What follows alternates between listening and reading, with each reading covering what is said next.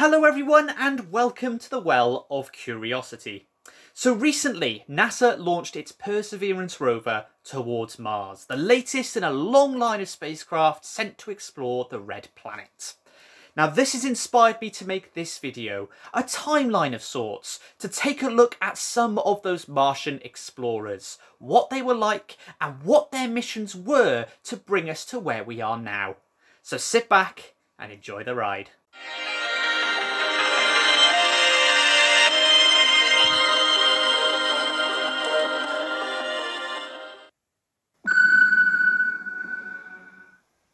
Starting off our list are Mariner 3 and Mariner 4 that were both launched in November 1964.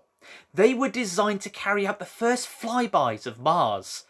Unfortunately, during the launch of Mariner 3, the shroud that encased the spacecraft on top of its rocket failed to open properly and the probe did not end up getting to Mars. Mariner 4 had better luck and reached its target in July 1965. The craft was able to collect the first close-up photos of the red planet. The pictures showed impact craters similar to the ones that we can see on the moon, with some frosted over from the cold Martian environment. In February and March of 1969, a few months before the infamous Apollo 11 moon landings, a second pair of Mariner missions were sent to Mars to complete another flyby, Mariner 6 and Mariner 7. Both were very successful, flying over the equator and the South Polar region, analysing the atmosphere and the cratered surface as they went.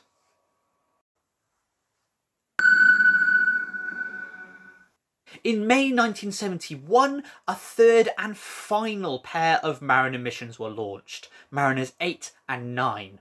Both were designed to be orbiters rather than just performing a flyby, which marked a planned transition in our exploration from mere flybys to extended stays. Unfortunately, Mariner 8 suffered the same sort of fate as Mariner 3, failing during the launch. However, Mariner 9 was much more successful.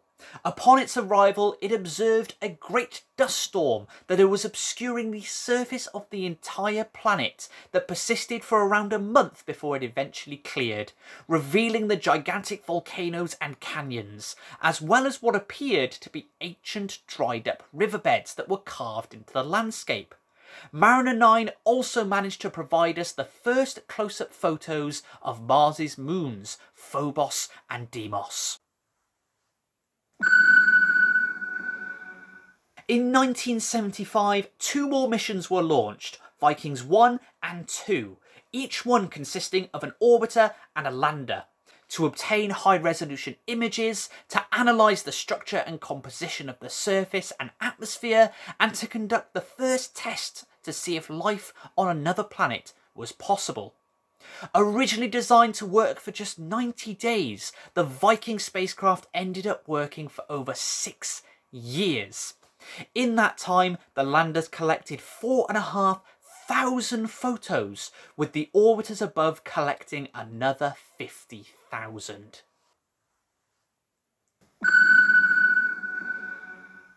Jumping forwards to the 1990s now, which was a rocky time for NASA and their Martian explorers.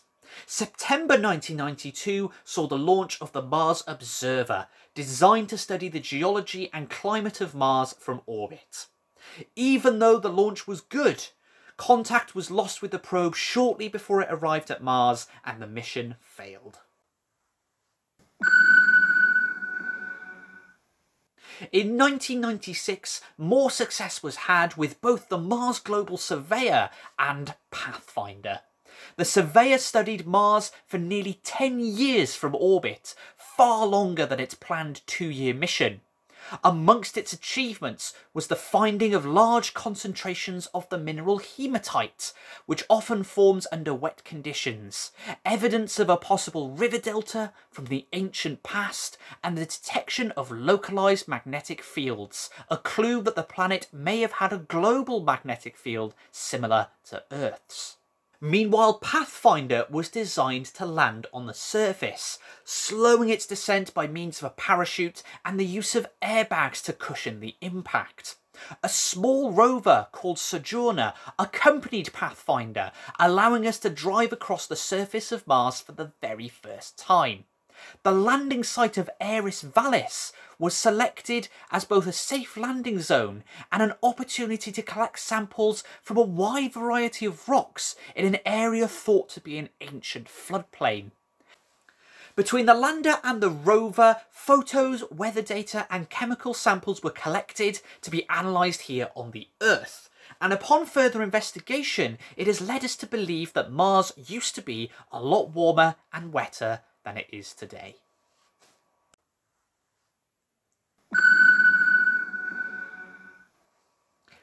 The end of the 90s for NASA's Mars exploration program were nothing short of a complete disaster.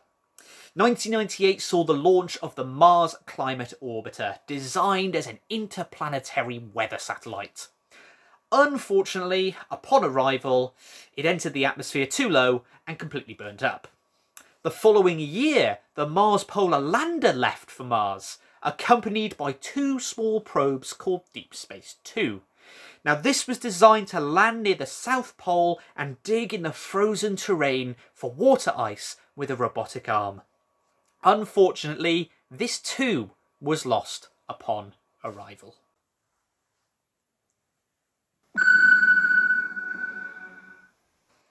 In 2001, a new orbiter was launched and inserted into Mars's orbit. This was the Mars Odyssey, which is still operating as of the release of this video. It was designed to study and map in great detail the elemental composition of the surface of Mars, as well as to work out the geological processes that have shaped the planet. An added goal of its mission was to take measurements of radiation in the Martian environment, which could be used to evaluate the risks to human astronauts if and when we get there in the future.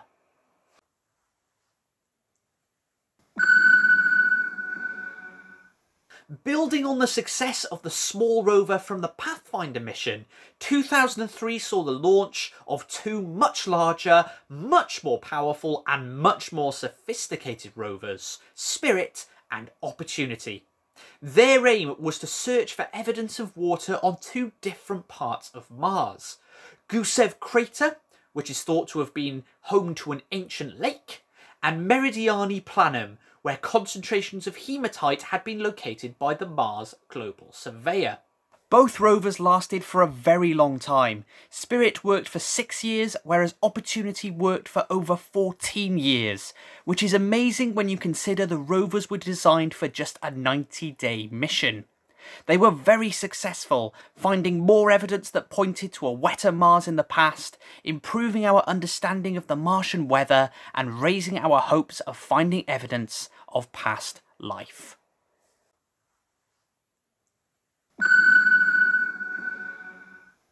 In the summer of 2005, the Mars Reconnaissance Orbiter was launched, marking the next step in the Mars exploration program. Its primary mission was to study the geology and climate of Mars, but to also scope out future landing sites and to act as a communication satellite, helping us to talk to the missions on the ground. The first to benefit from this was a lander called Phoenix launched in 2007, which landed on the northern polar region of Mars, with the goal of digging up and analysing the icy soil to assess whether it had the potential for harbouring microbial life, and to give us a better understanding of the history of water on Mars. 2011 saw the launch of the even larger and even more capable rover Curiosity. Now, it had the job of trying to answer one question. Did Mars ever have the right environmental conditions for supporting microbial life? Now, its landing site was Gale Crater, which is another location thought to have been the site of an ancient lake. Its landing was a little different to Pathfinder and the twin rovers that came down before it, slowing down with a parachute before firing rockets from the landing system to hover in the air as Curiosity was lowered down with a tether. It is capable of analysing the soil and rocks, measuring their composition and determining their history, especially their past interactions with water. Curiosity is still driving around Mars and is currently exploring Mount Sharp, a mound in the centre of the crater.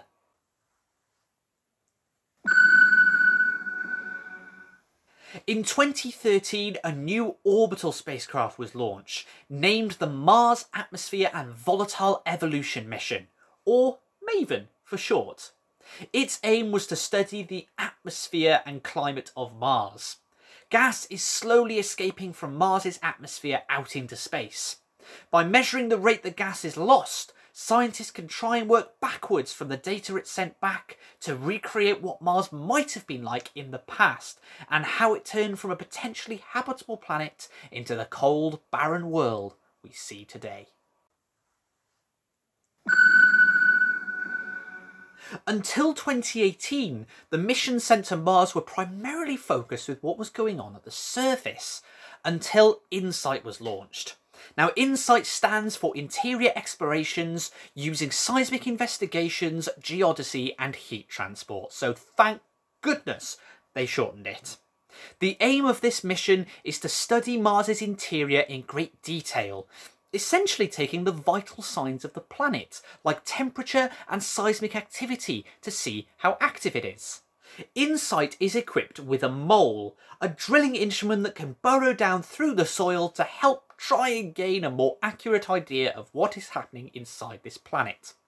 Unfortunately, at the time of filming, this mole is stuck, as the soil on Mars is behaving a little differently to what was expected. This investigation is designed to help us not just understand how Mars works, but how all terrestrial planets work.